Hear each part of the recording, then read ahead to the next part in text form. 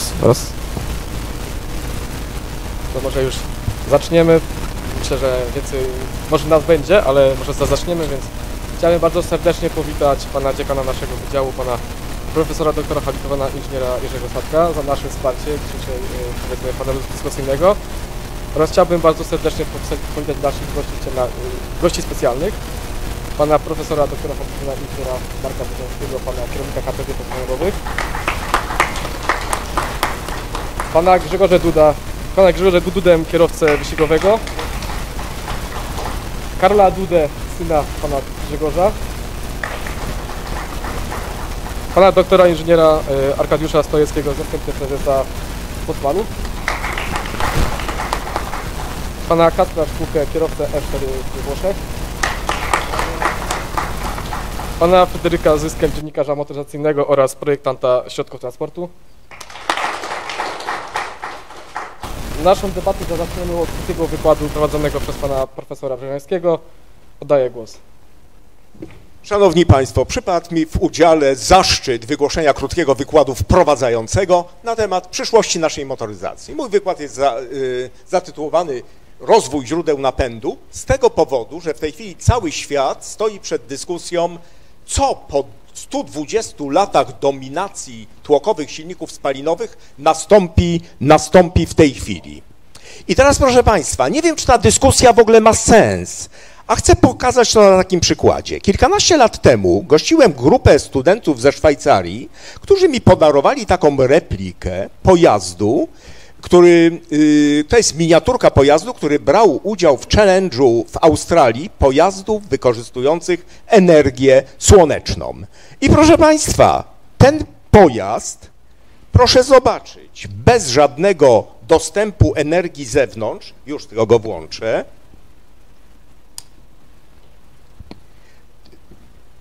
już, o, złośliwość rzeczy martwych, ale już się powinno poprawić. Już chwileczkę. O, i widzicie Państwo, no uważam, żeby nie zjechał.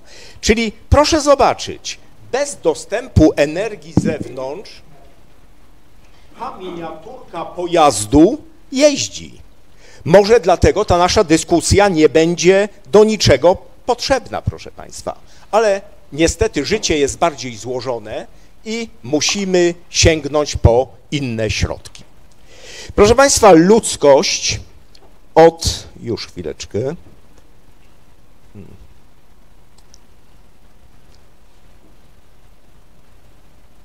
Zaraz, bo mi coś się nie chce przełączać. Pro, prosiłbym, jakby Pan zmieniał. Bardzo proszę. Proszę Państwa, ludzkość od zarania w ogóle dziejów szuka źródeł napędu pojazdów. Widzicie Państwo to drzewo genealogiczne, które pokazuje, że to szło trzema różnymi drogami. Napęd spalinowy, napęd elektryczny, napęd parowy. To były główne trzy filary źródeł napędu pojazdów. Były również takie bardzo dziwne, y, proszę Państwa, y, próby, jak na przykład napęd pojazdów siłą wiatru, czyli y, prawa fizyki obowiązują te same, co przy napędzie łodzi żaglowej. Ale przez długie lata podstawowym źródłem napędu wszelkiego typu pojazdów były pojazdy zaprzęgowe i do dzisiaj jest to jeszcze stosowane. Proszę dalej. Proszę Państwa, pierwszym źródłem napędu, który człowiek utylitarnie wykorzystał, była maszyna parowa. Maszyny parowe y, y, były również stosowane do napędu pojazdów lądowych. Niedobrze się to skończyło, co widać na tym rysunku na górze. A poza tym uciążliwość obsługi tych maszy, maszyn wykluczyła praktycznie ich stosowanie do napędu pojazdów y, lądowych, do indywidualnego transportu. Proszę następny. Natomiast doskonale się sprawdziły we wszystkich tych zastosowaniach, gdzie masa i rozmiar y, źródła napędu nie ma znaczenia, czyli ogromne statki, między innymi Titanic, prawda, czy też napęd pojazdów szynowych, gdzie jeszcze ja jestem może starszej daty, pamiętam jak na dworcu w Krakowie tego typu lokomotywy stały. Proszę następne. Nie przełączyło się. Proszę, jeszcze wcześniej. Proszę Państwa, pierwsze prace to, był, to były prace yy, Lenoira i prace Augusta Otto, który wynalazł pierwszy silnik spalinowy. I proszę Państwa, to był największy impuls, który zmienił w ogóle yy, wygląd całego nowoczesnego społeczeństwa. Ludzie po raz pierwszy dostali do ręki narzędzie, które stwarzało im możliwość dowolnego przemieszczania się w dowolnym czasie, na dowolne odległości i również y, przewóz różnego typu towarów. I to się przyczyniło do rozwoju y, y, nowoczesnej cywilizacji. Proszę następne. Przykładem tego, proszę Państwa, jest fenomen Forda.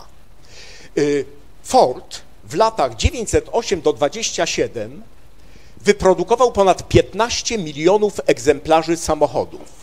To było w dziejach cywilizacji pierwsze takie wydarzenie i nie było drugiego wyrobu o tak dużej komplikacji te technicznej, który byłby produkowany w tak dużej liczbie egzemplarzy.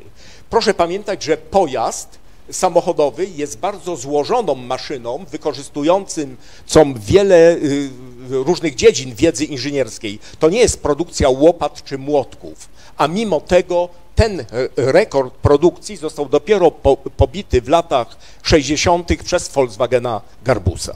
Proszę następny.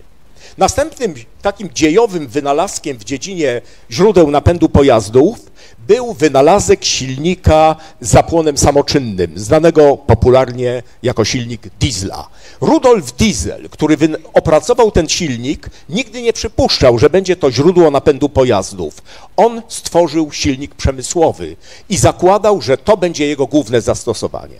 Ale bardzo krótko się, w krótkim czasie się okazało, proszę następny slajd, że silnik diesla jest doskonałym źródłem napędu do ciężkiego transportu, proszę Państwa, i do transportu profesjonalnego. Proszę zwrócić uwagę na to zdjęcie silnika okrętowego, to zielone zdjęcie. Tutaj na pierwszej galeryjce stoi człowiek. Nie wiem, czy Państwo widzicie tego człowieka. Także to jest silnik wielkości domku jednorodzinnego, nawet powiedziałbym większy. Także y, tego typu silniki obejmują gamę od małych silników, które są stosowane na przykład w sprzęcie ogrodniczym, y, w kosiarkach, w pilarkach spalinowych, do tego typu urządzeń, które mają wielkość sporej, y, sporego domu jednorodzinnego. Oczywiście w samochodach osobowych, ciężarowych, to jest w tej chwili w ciężkim transporcie, jest to podstawowe źródło napędu. Proszę następne. Oczywiście, proszę Państwa, muszę zaznaczyć obecność jeszcze innych konstrukcji, takich bardziej nietypowych. Jednym, jedną z takich konstrukcji był silnik Wankla, który wydawać by się mogło, że będzie stanowił przełom na rynku motoryzacyjnym. Mały, lekki, mocny silnik. Niestety pewne względy, o których za chwilę y, powiem, przeważyły, że te silniki nie weszły powszechnie do, do y, użytku. Proszę następny. Tym czynnikiem była emisja toksycznych składników spalin i była, było oddziaływanie źródeł napędu pojazdów na środowisko naturalne. Proszę Państwa, te trzy gazowe składniki plus cząstki stałe zadecydowały, że inżynierowie musieli całą swoją wiedzę skupić na poszukiwaniu źródeł zmniejszenia oddziaływania motoryzacji na środowisko. Proszę następne. Zrobiliśmy w tym względzie bardzo dużo. Proszę Państwa, przez ostatnie 30 lat emisja toksycznych składników została zmniejszona o ponad 99% tych czterech składników, które y, wcześniej Państwu y, pokazałem. Także w ostatnim okresie główny wysiłek inżynierów polegał właśnie na zmniejszeniu tej emisji. Proszę następne między innymi wprowadzenie powszechne katalitycznych metod oczyszczania spalin. W tej chwili żaden tłokowy silnik spalinowy nie będzie dopuszczony do ruchu, jeżeli nie będzie wyposażony w tak złożone systemy oczyszczania spalin. Proszę następne.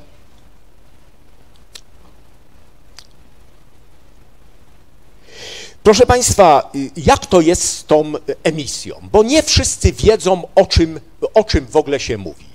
Proszę Państwa, węglowodory zawarte w jednej zapalniczce to jest emisja węglowodorów, która odpowiada przejechaniu ponad 1700 kilometrów według testu europejskiego albo ponad 4500 kilometrów według testu amerykańskiego. Co to znaczy? Że samochód, który się porusza po drogach europejskich przez 1700 kilometrów, emituje tyle samo węglowodorów, ile jedna zapalniczka, która ulegnie na przykład uszkodzeniu.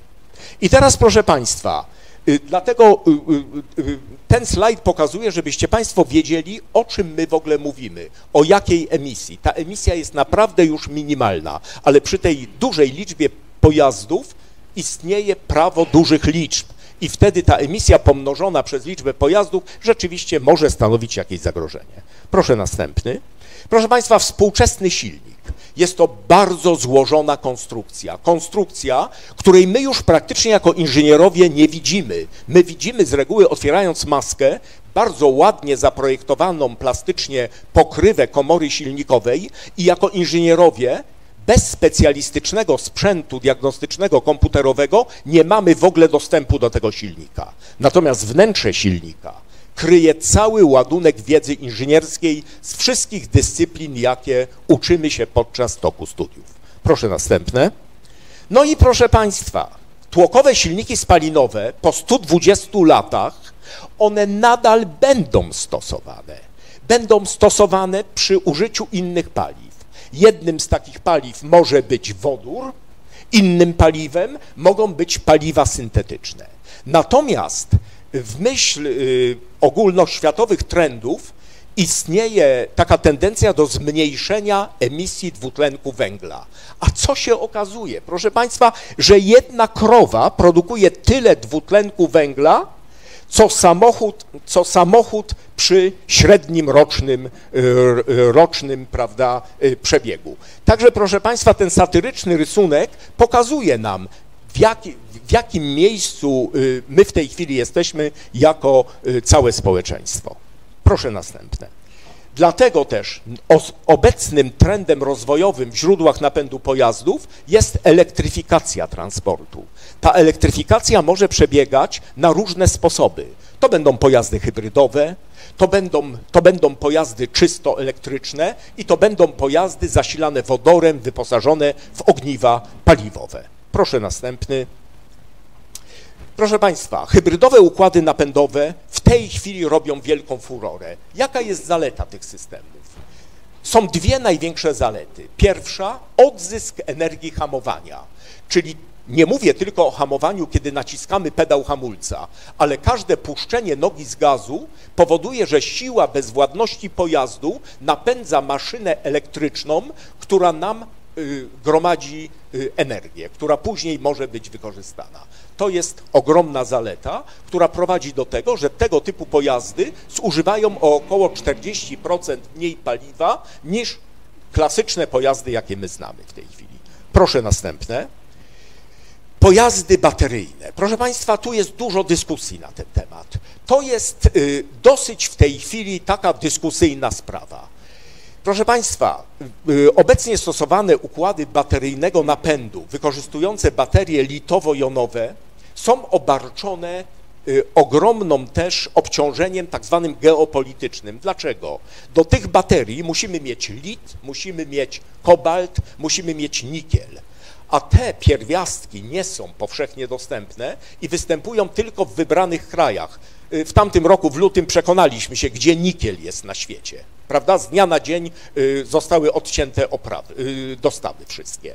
Dlatego, proszę Państwa, tu musimy do tego ostrożnie podchodzić. Ja jestem wielkim zwolennikiem elektromobilności, ale w pewnym racjonalnym wydaniu, o którym za chwilę powiem. Proszę następne. Proszę Państwa, przede wszystkim y, widzimy z jakimi kłopotami borykają się w tej chwili producenci, którzy chcą polski samochód y, elektryczny wyprodukować. No po czterech latach działania zakupiono platformę podłogową u Chińczyków, prawda? Y, dlatego mm, to nie są takie proste sprawy. Samochód z napędem elektrycznym musi być od podstaw, od nowa zaprojektowany. Tu jest taki przykład. Volkswagen produkuje z powodzeniem model ID3. Y, elektryczny. nie skorzystali z ani jednej części z Golfa, który jest produkowany w milionach egzemplarzy, a trudno Volkswagena y, podejrzewać o brak umiejętności produkcji samochodów. Okazało się, że wszystko trzeba projektować od nowa. Nie będę w zawiłości techniczne y, wchodził, dlaczego tak jest. Proszę następne. I dlatego musimy sobie zadać pytanie, elektryczny samochód jak najbardziej, ale w sposób racjonalny. Czy to będzie super sportowy samochód taki jak Porsche Taycan czy Tesla Model S? Czy to powinien być, proszę Państwa, mały miejski samochód z małym akumulatorem o małej masie, szybko ładowany i używany tylko w dużych aglomeracjach miejskich? Bo proszę Państwa, co z tego, że samochód z ogromnym ładunkiem energii elektrycznej pokona 500-600 kilometrów, jakiego ładowanie z domowej ładowarki będzie trwało dwie doby? Oczywiście są systemy szybkiego ładowania, ale takich stacji, które dają więcej niż 250 kW mocy yy, i ładują prądem stałym, jest w Polsce zaledwie kilka. I dlatego, i drugie pytanie, skąd energia elektryczna? Ktoś powie, no jak to, kto, skąd? Z gniazdka, prawda? Tylko, że musimy sobie odpowiedzieć, z czego my mamy tą energię. W Polsce, proszę Państwa, w tej chwili w najlepszym układzie mamy dwadzieścia kilka procent energii z, yy, z, z odnawialnych źródeł. A cała reszta z czego jest? Z węgla prawda? I dlatego ta emisja jest wtedy przenoszona w inne obszary. I my, inżynierowie, musimy w ten sposób na to patrzeć. I dlatego, jak powiedziałem, jestem gorącym zwolennikiem elektromobilności, ale raczej ograniczonej do y, poruszania się w dużych aglomeracjach miejskich. Proszę następne. I proszę Państwa, jest ostatnie y, rozwiązanie, które daje nam pewne możliwości, mianowicie wykorzystanie ogniw paliwowych. Tutaj jest akurat przykład pierwszego samochodu osobowego, który został y, wprowadzony do handlu Toyoty Mirai. Ale proszę Państwa, ogniwa paliwowe zasilane wodorem są doskonałym źródłem napędu ciężkiego transportu i wielu maszyn różnego typu. Ogniwa paliwowe nadają się do napędu lokomotyw, do napędów statków pełnomorskich i do napędów wszystkich maszyn, które są wykorzystane na przykład w obszarze bez dostępu do energii elektrycznej. I nad tym wszystkim my, inżynierowie, pracujemy. W którym kierunku to pójdzie, zobaczymy. Proszę następne. No i tutaj są wyszczególnione postacie energii, które my mamy do dyspozycji i o których my w tej chwili mówimy i które są potencjalnie do wykorzystania w transporcie. I proszę ostatnie, proszę Państwa, najbliższe miesiące, najbliższe lata pokażą, który z tych napędów będzie dominował y, y, zarówno w środkach indywidualnego transportu, jak i w transporcie ciężkim. Czy będziemy musieli wrócić znów do zaprzęgów konnych? Dziękuję bardzo za uwagę.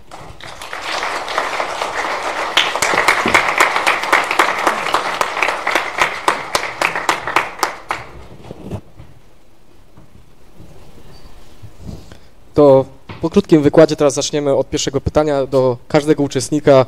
Powiedzmy, że do trzech minut na odpowiedź i czy pytanka do każdego.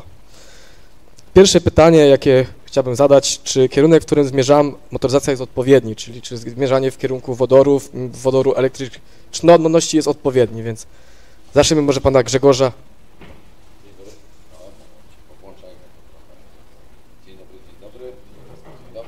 Dzień dobry, o tu jest lepiej.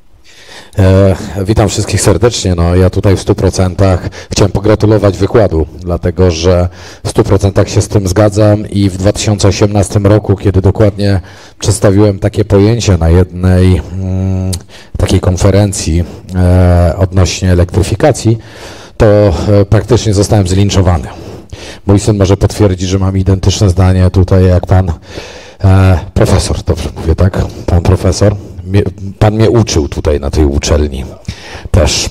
E, także pamiętam dobrze. Łatwo nie było, ale mnóstwo wiedzy cudownej.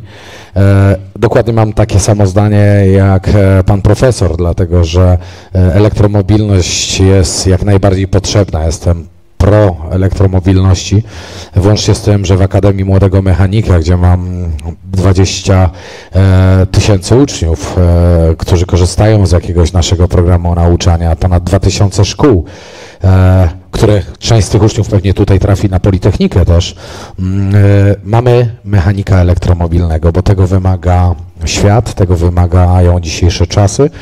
Natomiast elektromobilność musi być i jest bezemisyjna tu i teraz, czyli tam, gdzie nam, ludziom szkodzi na przykład, nie wiem, Kraków, godzina 16.30, 17, rzucam w tej chwili mniej więcej z głowy e, zanieczyszczeniem spowodowanym e, motoryzacją, samochodami. To jest około 60 paru procent oczywiście tak. I tutaj potrzeba wprowadzać coś, żebyśmy my ludzie mogli spokojnie żyć, żebyśmy mogli oddychać, żebyśmy e, patrzyli na to w ten sposób, że to robimy dla nas ludzi, a nie tylko dla naszej planety, no bo jak będzie planeta bez ludzi, no to bez sensu, tak?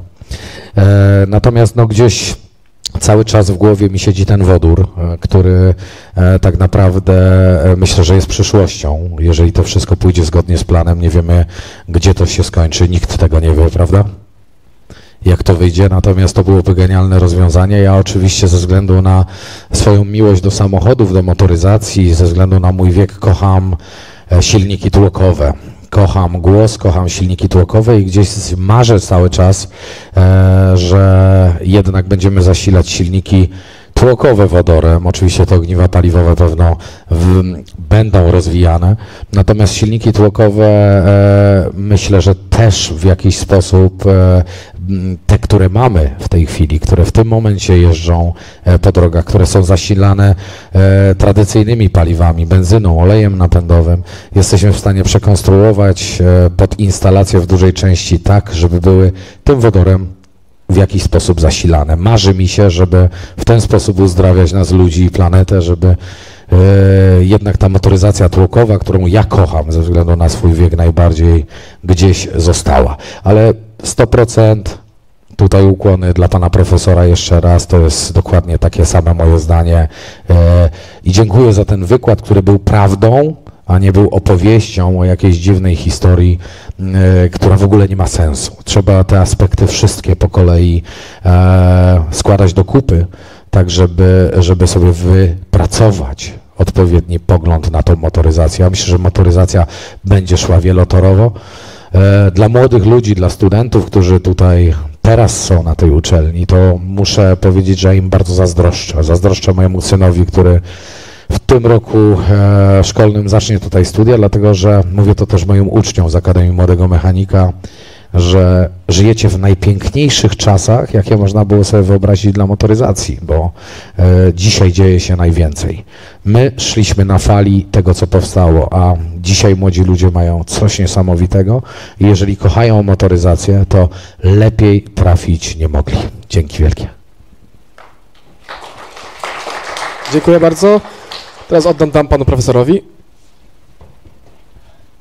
Ja nie będę się powtarzał. Proszę Państwa, ja jestem za różnorodnością i jestem, i jestem zdania, że w motoryzacji będzie miejsce zarówno dla tłokowych silników spalinowych, zarówno dla wodoru jako paliwa do tłokowych silników spalinowych, dla wodoru jako paliwa dla ogniw paliwowych. Będą również powstawać małe elektryczne pojazdy, i będą również, proszę Państwa, innego typu konstrukcje powstawać. Także ja jestem zwolennikiem różnorodności i myślę, że w tej różnorodności każdy znajdzie odpowiedni pojazd dla siebie.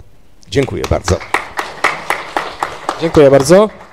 Teraz oddaję panu Arkadiuszowi głos. Witam Państwa.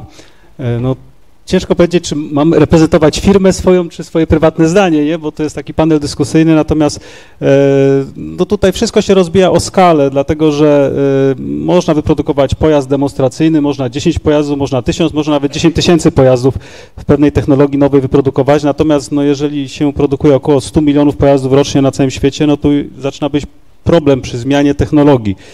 E, u nas powiedzmy w Europie, przechodząc na elektryfikację pojazdów, sobie powiedzmy poprawiamy środowisko, natomiast jak już było wspomniane, w wielu krajach, gdzie się wydobywa lit, czy, czy właśnie kobalt, czy inne metale potrzebne do budowy baterii, no to tam fundujemy tym ludziom katastrofę ekologiczną. E, moje zdanie jest takie, no też podzielam właśnie e, tę opinię, że jednak tutaj różnorodność jest e, wskazana, ponieważ w tej chwili mamy tak, tak, takie narzędzia, gdzie szybko potrafimy stosunkowo, szybko potrafimy zrobić jakiś nowy, nowy pojazd, nowy, nowy mm, napęd y, i, i wdrożyć go do produkcji. E, tak, no jeżeli chodzi o baterie, no to na pewno wiadomo, samochody miejskie, bo, bo tutaj raczej, raczej nie ma sensu robić e, samochodów e, na przykład ciężarowych, gdzie takie samochody już są i te samochody mogą być w jakimś tam zakresie używane raczej po mieście, bo, bo, bo transportu poza miastem no to, to, to, to nie ma za bardzo sensu przy tej technologii, bo jednak bateria ma kilkadziesiąt razy y, mniejszą gęstość energii niż, niż, niż taki zbiornik paliwa, nie? Także no, robienie samochodu, który, nie wiem, 10 ton będzie bateria ważyła, żeby sobie gdzieś tam dalej mógł zajechać, samochodu ciężarowego oczywiście, to też nie ma sensu, to jest nieracjonalne. Natomiast, natomiast y, jak najbardziej w miastach te samochody mogą się sprawdzać. W tej chwili auta elektryczne no nadal są rozwijane, no nie ma się co oszukiwać. No problem, dla mnie na przykład z elektrycznymi autami to jest problem właśnie bezpieczeństwa, bo jak czasami się widzi takie auto zacznie się palić, bo jakaś awaria nastąpiła, no to się nakrywa jakimś tam kontenerem i po dobie można, po 24 godzinach można zobaczyć, czy już się wypaliło, nie? Także ja bym takim autem do garażu w swoim domu nie wjechał na chwilę obecną, natomiast no my akurat w Instytucie Badawczym troszeczkę do przodu jesteśmy, jeżeli chodzi o technologię, wiedzę odnośnie technologii, także w tej chwili no, software jest bardzo intensywnie rozwijany, żeby ta auta odpowiednio zabezpieczyć, że praktycznie każda cela w baterii będzie monitorowana, będzie optymalnie używana, także następnej generacji te samochody już będą bezpieczne i yy, serwisowalne, to znaczy będzie odpowiedni software, który yy, który zabezpieczy ten samochód przed jakąś awarią, nie? Także ten, także, no bo no nie ma co ukrywać, no jeżeli bateria litowa się zapali, no to tak niewiele można z tym zrobić. Natomiast jeżeli chodzi o inne napędy, no to tak, wodór jest drugim paliwem alternatywnym, no ale tu też jest kwestia skali, nie? To znaczy tak, jeżeli my musimy dwa razy więcej albo i pięć razy więcej energii włożyć w coś, żeby później jedną piątą czy jedną, jedną czwartą tej energii odzyskać, no to musimy mieć bardzo duże źródła energii właśnie jakieś tam, która by służyła do przetworzenia tego paliwa, nie? Y, biorąc pod uwagę skalę, no to troszeczkę przestaje być racjonalne, no bo tak, fuel cell, czyli ogniwa paliwowe, no to jest bardzo, bardzo fajna rzecz, tylko potrzebuje wodoru y, o czystości laboratoryjnej. No to jest bardzo drogi taki wodór, nie? No to na dużą skalę no, nie będziemy tego produkować. No, można jakieś tam mieszanin, mieszaninę wodorów y, z, z metanem stosować i w normalnych silnikach spalać, no to już jest bardziej racjonalne, nie?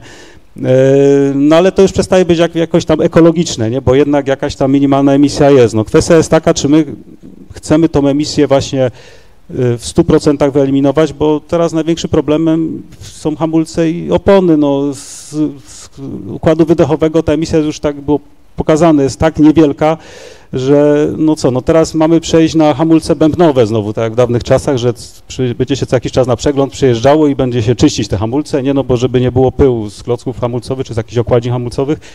Yy, z oponami trochę większy problem jest, no bo nie wiadomo z czego te opony zrobić, nie? Żeby, ten, żeby, żeby się nie zużywały. Także tutaj już dochodzimy do takich trochę no, paradoksów, nie? Że, że my tutaj staramy się w jakimś tam kierunku iść, usilnie, żeby te samochody były zeroemisyjne, a one są zeroemisyjne może w Krakowie, nie? natomiast już niekoniecznie gdzieś tam w innych krajach, nie? A jeżeli jesteśmy globalną wioską, no to trzeba tak powiedzmy te, te racje innych krajów też mieć y, na uwadze. No cóż, no to jest, zawsze powtarzam, że motoryzacja to jest na tyle wielki biznes y, światowy, że tu jest bardzo dużo polityki też i du, dużo różnych moderatorów, dużo różnych jakby rzeczy, które nie są stricte z techniką związane. Ja zawsze wierzę w inżynierów, w techników, bo tak powtarzam, że w latach dwudziestych, powiedzmy, pod koniec lat dwudziestych samoloty były z listewek zrobione z rutu i z płótna, a kilka lat, kilkanaście lat później rakiety latały, a 40 lat później człowiek na Księżycu wylądował, także techniczne rozwiązania to jest kwestia czasu i zasobów, jakie tam powiedzmy człowiek może y, zaalokować. Natomiast to dużo właśnie od polityków zależy, no i poniekąd od nas też, nie, bo my tak jakoś tam powiedzmy też mamy wpływ na to.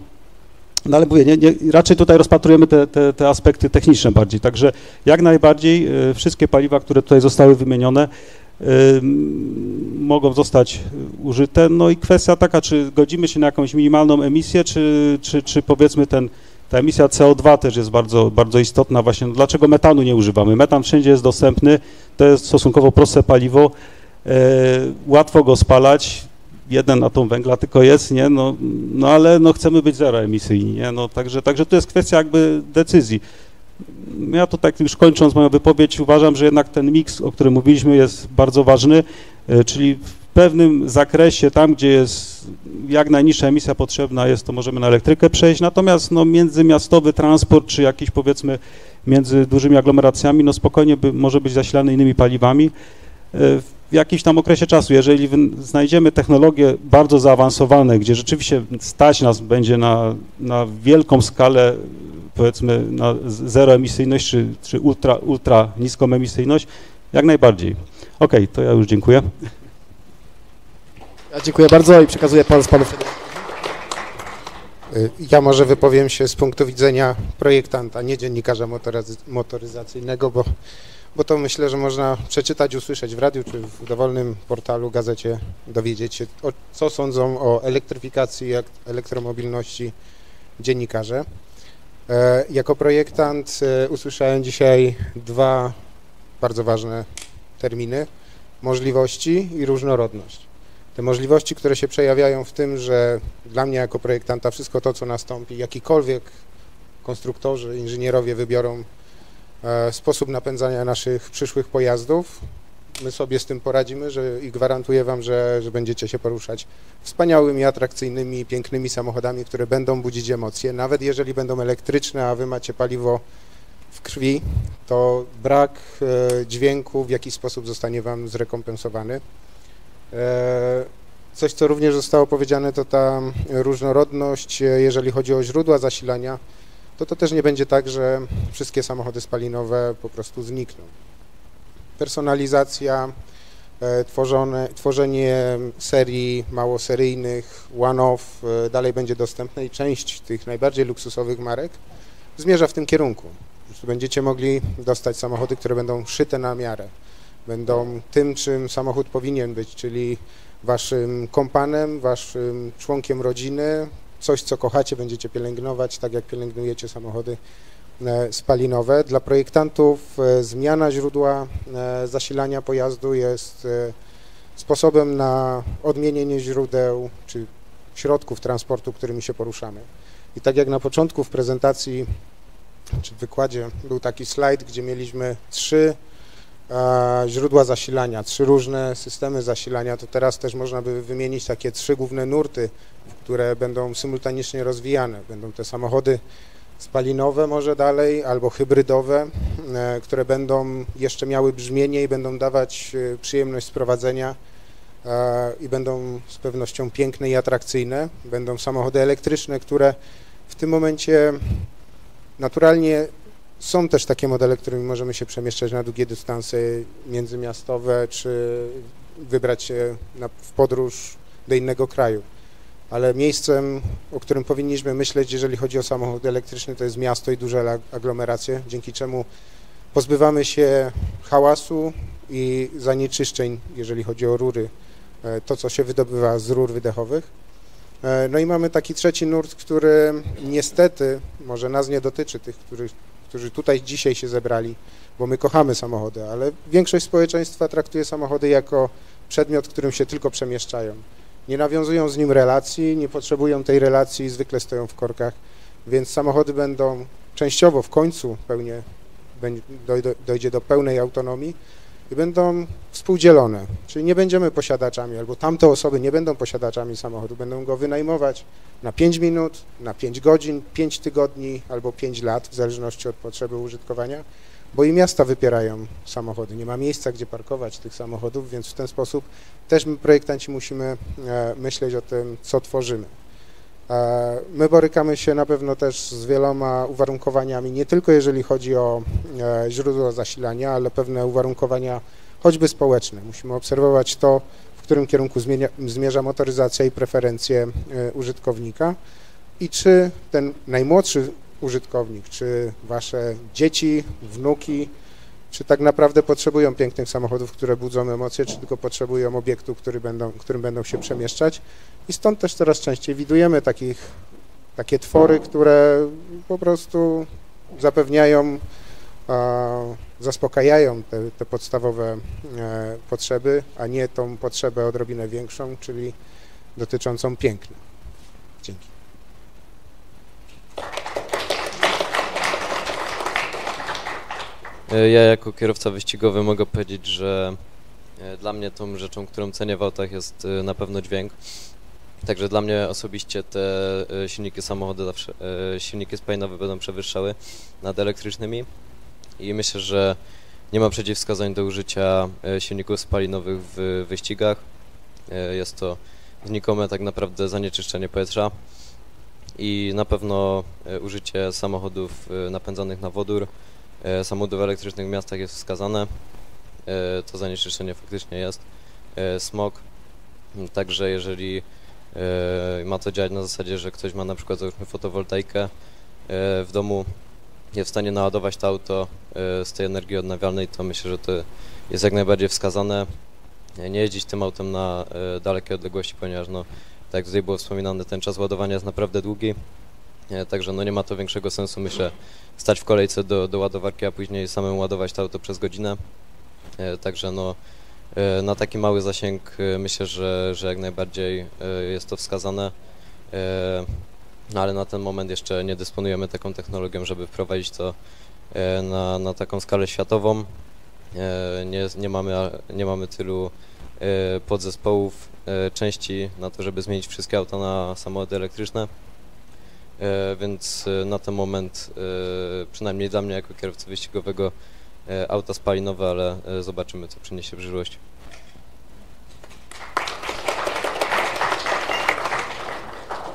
Ja również jako kierowca wyścigowy nie mógłbym się pozbyć samochodów spalinowych i tak jak e, kolega wcześniej wspomniał, są one wręcz e, wskazane w, w sporcie, w naszym ukochanym motorsporcie.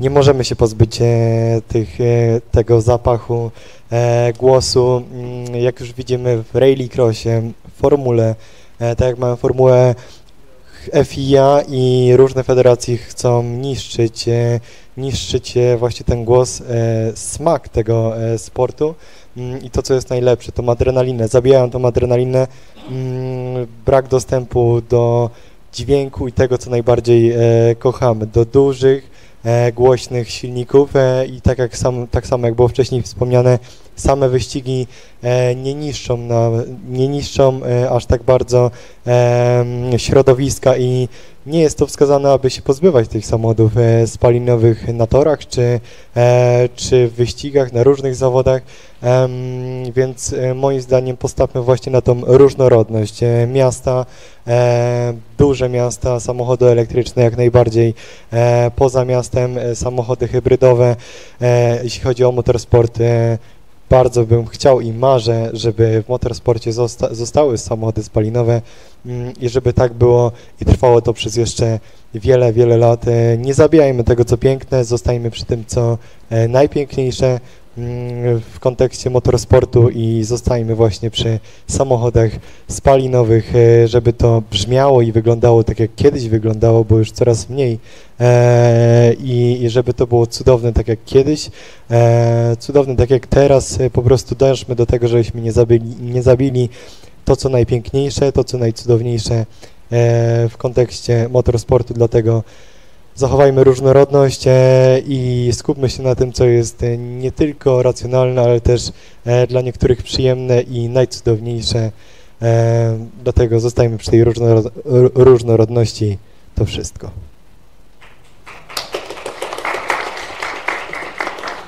Dziękuję bardzo. Teraz przejdźmy do drugiego, ostatniego pytania, czyli czy sprowadzenie stref powietrza czystego w miastach takich jak Kraków y, powinno obejmować pojazdy zabytkowe i unikatowe i też sportowe powiedzmy.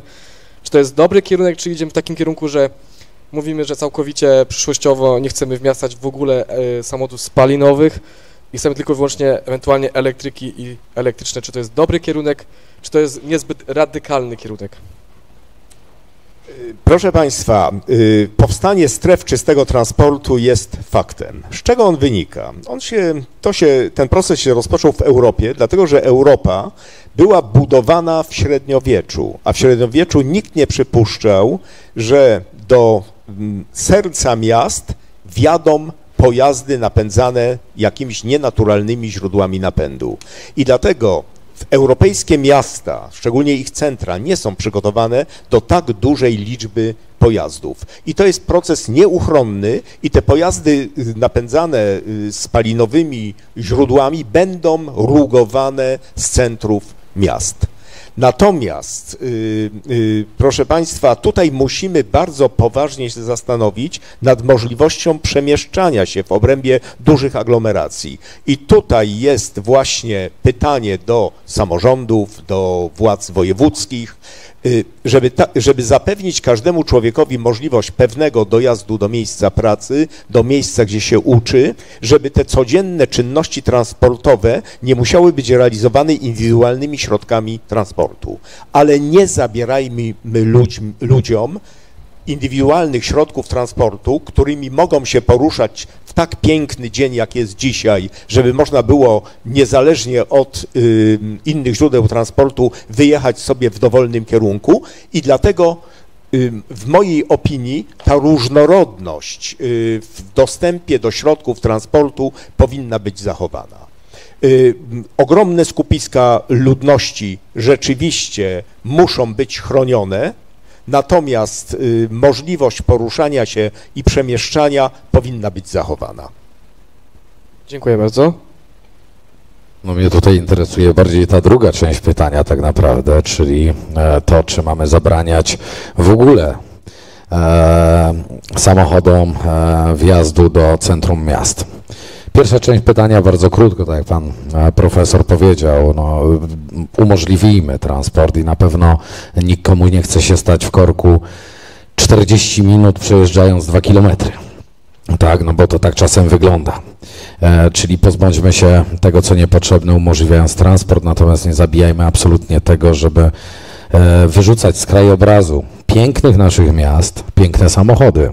Czyli pozwólmy tym pięknym samochodom wjeżdżać właśnie e, w taki dzień jak teraz. E, Wielka Brytania bardzo fajnie rozwiązała ten problem.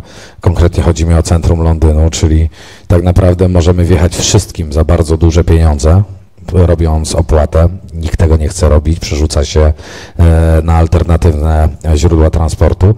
Natomiast samochód, który ma powyżej 25 lat, Czyli tak naprawdę już te, e, umówmy się, w miarę nowoczesne samochody e, spalinowe mogą wjeżdżać bez ograniczeń po to, żeby ten krajobraz był utrzymany, tak? Żeby mogli, żebyśmy mogli te samochody podziwiać, żeby mogli, żebyśmy się mogli nimi, nimi fajnie poruszać, eliminując jednocześnie ten zwykły środek tradycyjny, jednostkowy transportu. Także myślę, że to jest najlepszy kierunek. Zielone strefy, podsumowując tak, ale nie zabijajmy krajobrazu tego krajobrazu, który najbardziej my kochamy, skoro tutaj na Politechnice Krakowskiej jesteśmy, czyli samochodów, pięknych samochodów, które w tych miastach jak najbardziej pasują.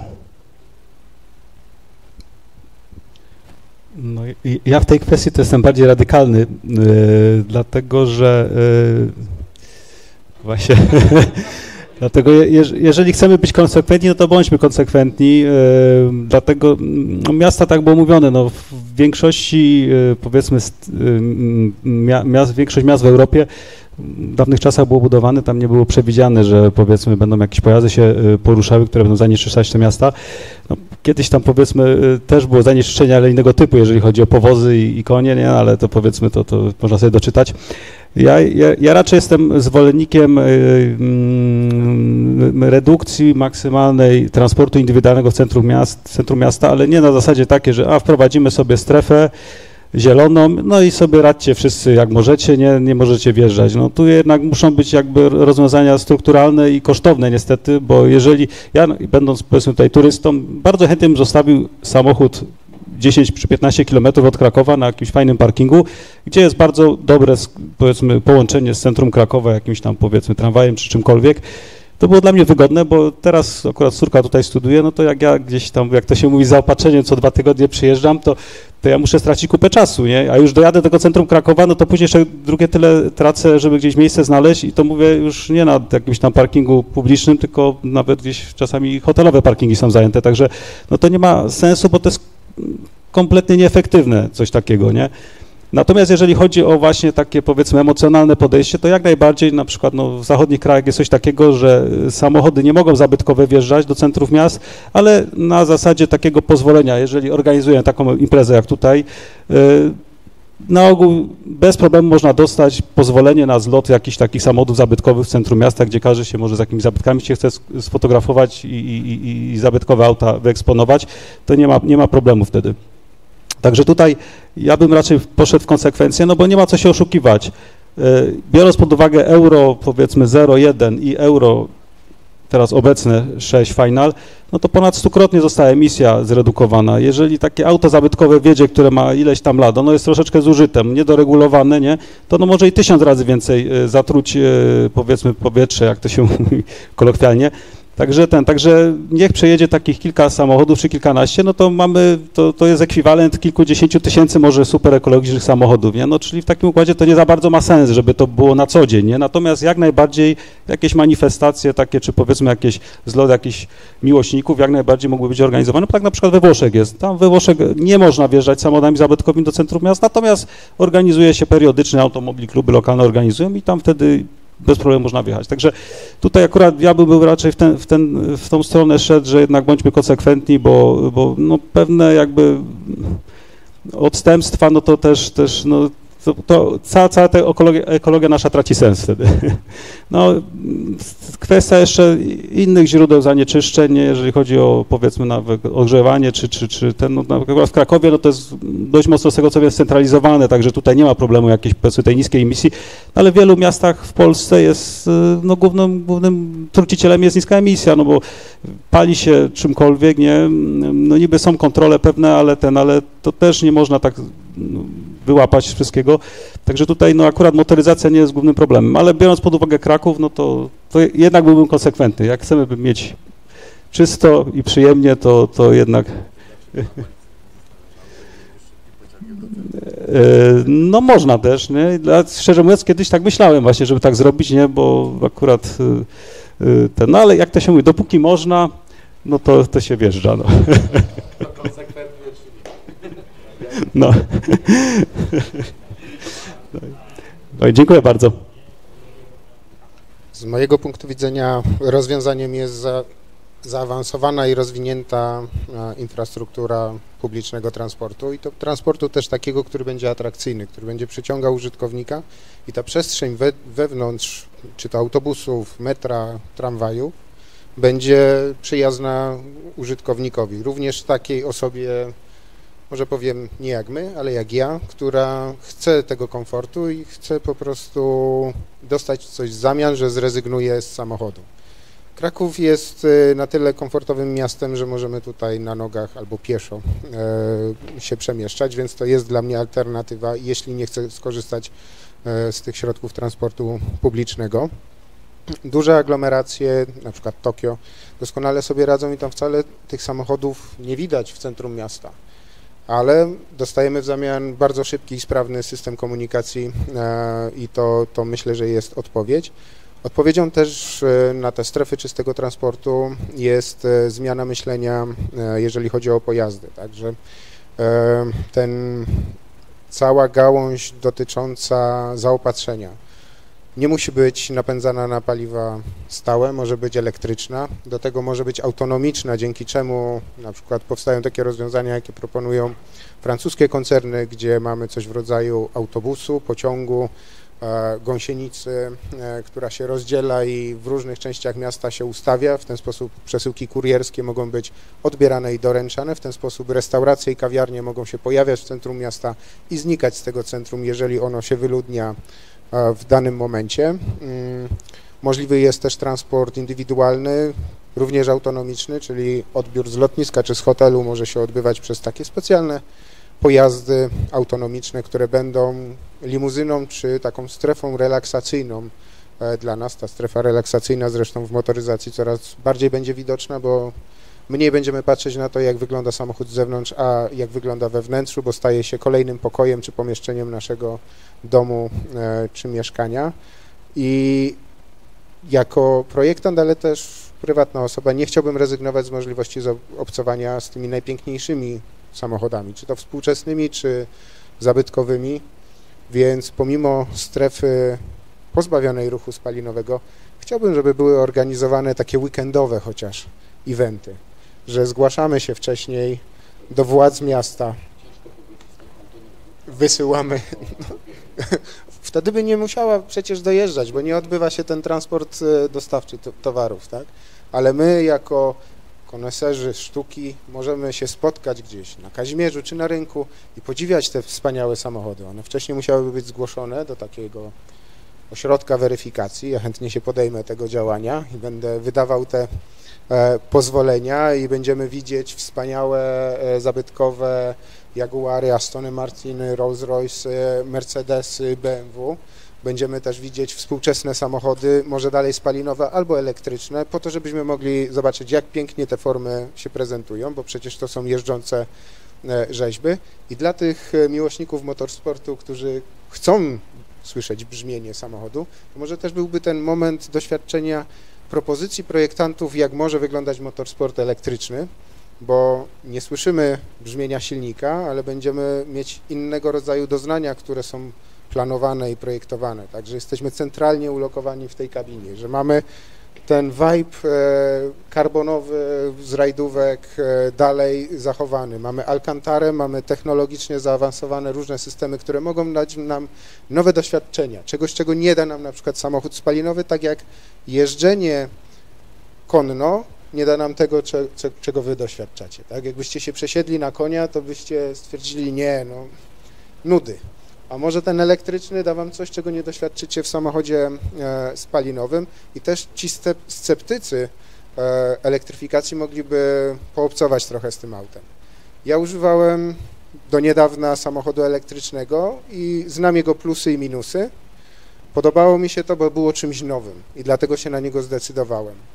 E, wiem, z czym trzeba się borykać teraz, ale zakładam, że za 5-10 lat nie będzie takich, takich problemów ale to też zmusiło mnie do tego, żeby w inny sposób doświadczać motoryzacji i inaczej planować moje wyjazdy. W mieście nie miałem problemu z ładowaniem i szybkim ładowaniem, wybierając się gdzieś za miasto. No z pewnych destynacji trzeba było e, zrezygnować, bo nie było na przykład tam ładowarki. I nawet nie chodzi o to, że z gniazdka ładujemy samochód elektryczny, nie mówię do pełna, e, w jeden dzień, bo to potrafi być na przykład 42 godziny od 20% do 80%, ale czasem nie mamy tak długiego tego przedłużacza, który też musielibyśmy ze sobą wozić, więc e, tak jak z samochodem sportowym, który jest pod, podlega dużym obciążeniom, też wiąże się to z pewnymi niedogodnościami, nawet kwestia bezpieczeństwa, wsiadanie, zapinanie tych pasów, to nie jest coś, co chcemy robić co chwilę jadąc po zakupy, tak e, myślę, że te strefy ograniczonego ruchu, czy w ogóle pozbawione ruchu samochodów spalinowych, z jednej strony są dla nas uniedogodnieniem, a z drugiej strony, no jak chcemy odpocząć, to byśmy, jedziemy w góry i chcemy słyszeć e, śpiew ptaków, szum rzeki, szum e, lasu, to te samochody elektryczne mogą nam to wprowadzić z powrotem do miasta. I, i może takie strefy też są potrzebne. Może nie całe miasto, a może, może część gdzie chcemy y, samochody elektryczne? No tak, ale w kwestii brzmienia ostatnia rzecz. E, Hans Zimmer, który komponuje wspaniałe symfonie, komponuje również brzmienie samochodów niektórych marek, więc możliwość zaangażowania ludzi sztuki, którzy wcześniej nie mieli styczności z motoryzacją i wciągnięcia ich w tą naszą miłość do motoryzacji, to też jest jakaś, jakaś szansa. Dzięki.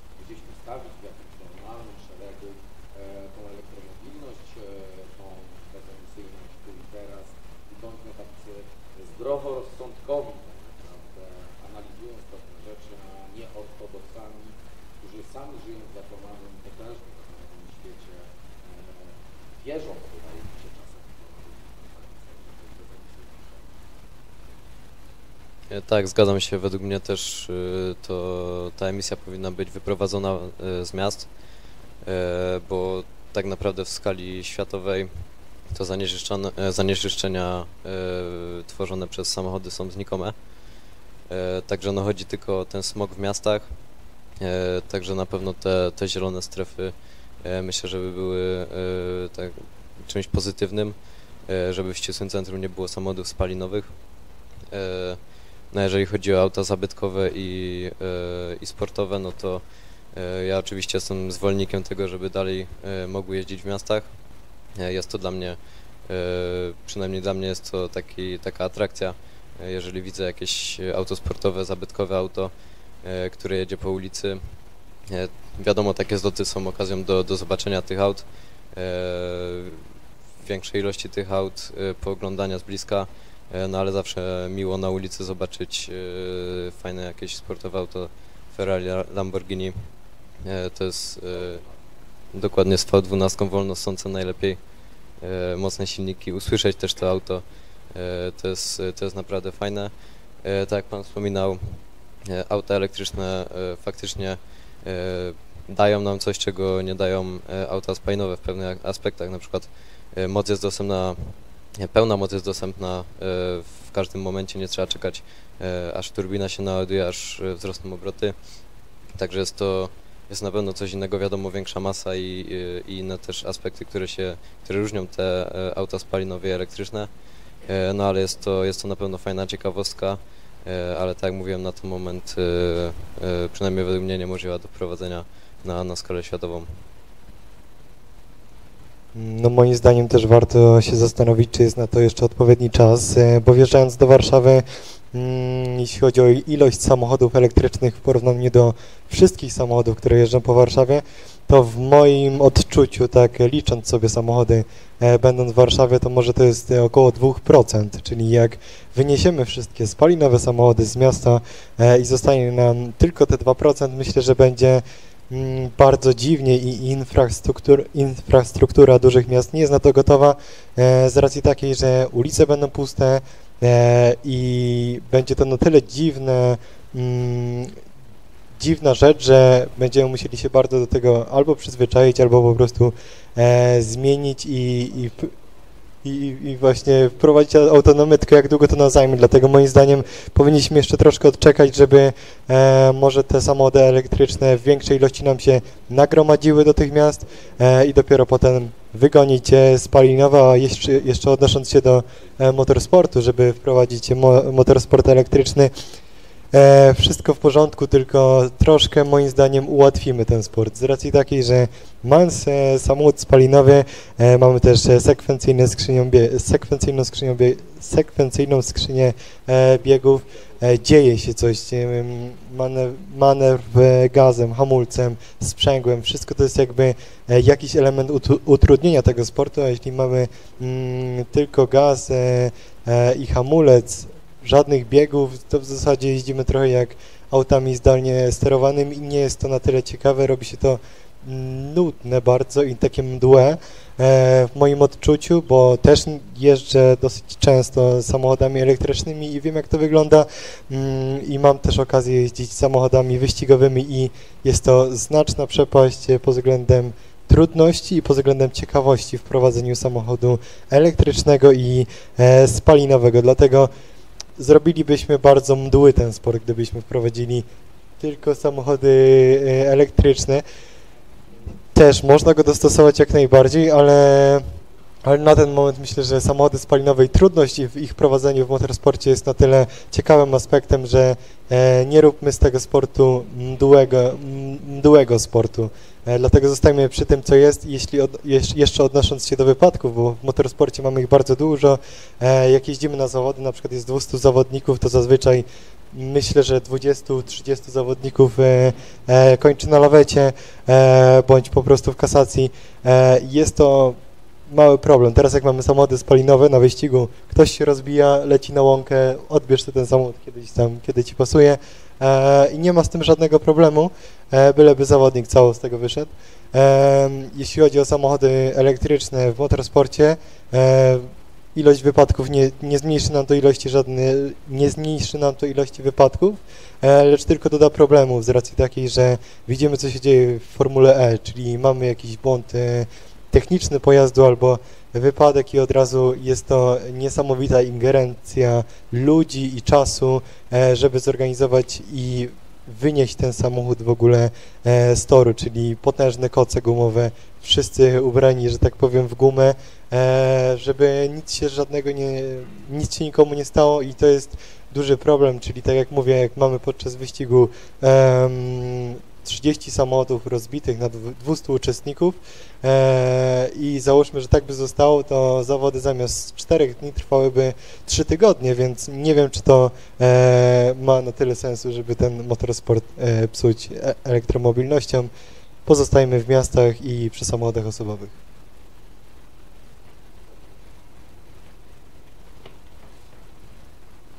Dziękuję bardzo za odpowiedź na te pytania i tak wydaje mi się, że trochę odpowiedzieliśmy na pytania, które nurtują, nurt powiedzmy, nurtują nas, osoby, które dojeżdżają do Krakowa, czy mają pojazdy zabytkowe i sportowe. I teraz trochę powiedzmy już yy, wypowiedzieliśmy się, więc teraz po prostu zakończmy ten panel dyskusyjny, my tutaj z gościami specjalnymi. Pójdziemy oceniać pojazdy samochodowe.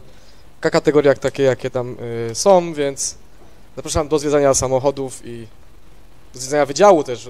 Prze- Przede wszystkim są bardzo ciekawe laboratoria, ciekawe rzeczy, więc zapraszam bardzo serdecznie i dziękuję bardzo za udział.